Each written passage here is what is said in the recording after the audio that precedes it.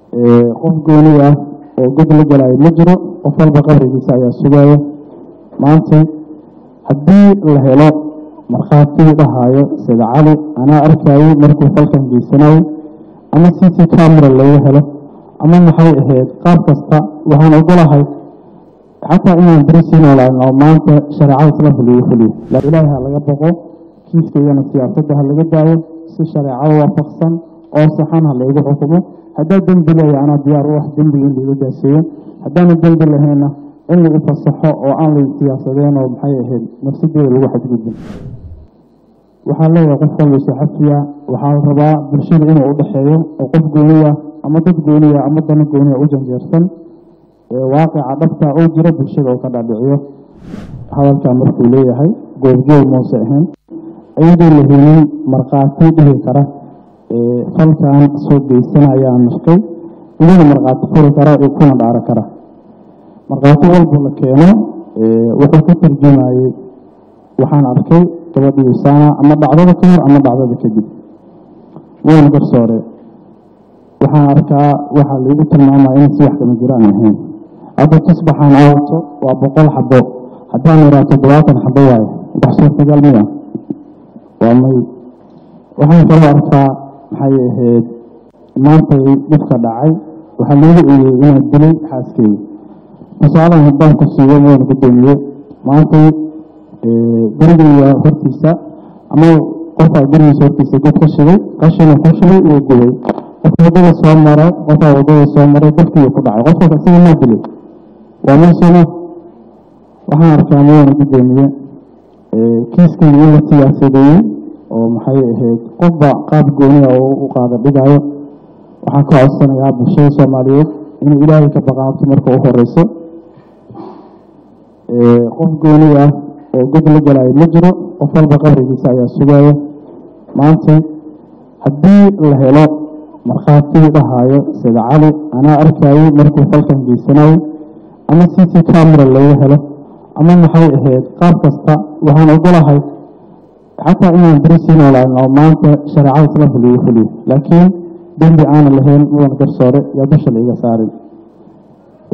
Maantay inaan mudan garsoore eedaysano noqdo. Xaaskeyga laigu tilmaamay inaad dilay oo wuxuu ilaahay qoray. Lixda arkaanuna iimaanka ayaa ka mid ah. Wabilqadari khayri wa shari qofka islaamka inuu aamino. Anigu aaminsanahay qadarta khayr iyo shar basay tahay.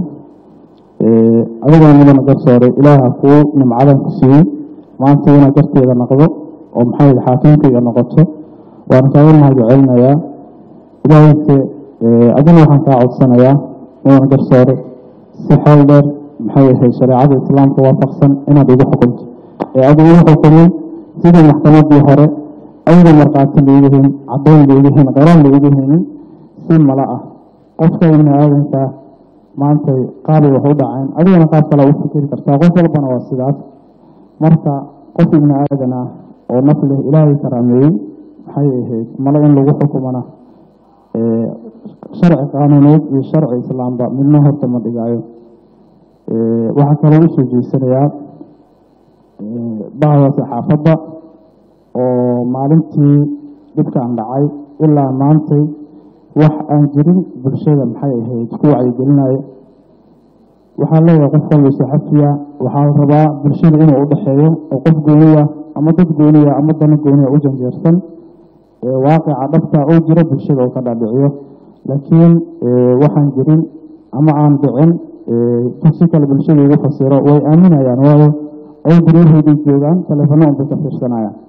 Marka waxaan leeyahay saxaafadda ilaahay ka baqa dad dhalinyaraad tihiin maanta dhibkan ugu dhacay beri ka maalin qof idin ka mid uu ku dhici karaa qof walba soomaaliyaana ama qof walba muslimaana adduun intuu joogo waa la imtixaanaya wax walbana ay ku dhacayaan. Marka been abuurka ha laiska daayo waxaada ogeyn ha ka been sheegan sida saxdaa dhexdhexaadka uga hadla. Waana waana mahadsanya mudan garsooda mahadsantihiin horta ilaaha xilkaa u doortay labada helba dad siyaasiyiinay leeyihiin dhan walbay noqoto waxaa leeyahay ilaah horta marka hore marka u horeysa ha laga boqo maxay ahayd fidno yaa la fiicinin. Waayo fidnada wax ka daran horta adduunka korkiisa imaada ma jiraan. Waxaan leeyahay fidnada yaa la kicinin dadka yaa la isku dirin waxaan jirin dadka yaa laga dhaadhicinin. Qof walbay siyaasiya maantay meel kastoo iga daawanaya waxaan leeyahay ilaahay ha laga boqo kiiskaygana siyaasadda ha laga daayo si shareecada waafaqsan oo saxan laygu xukumo haddaa dembi leeya anaa diyaar u ah dembiga in laiga daaseeyo haddaana dembi lahayna in lagu fasaxo oo aan lay siyaasadeen oo maxay ahayd nafsadeeda lagu xadgudbin. Intaasaan waan garsoor codsanayaa waana mahadsan tahay.